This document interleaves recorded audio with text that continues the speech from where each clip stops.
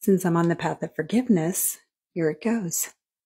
Kate, I forgive you for lending me your lip gloss when I really needed it, for how you reacted when I said you had baby brain, for being a super fan of suits, yet not asking me for an autograph, for apologizing to me with flowers and a card. I forgive you for Harry saying that you have killer legs in our Netflix documentary, for not understanding that I need constant attention and acknowledgement, and for marrying the heir and leaving me despair.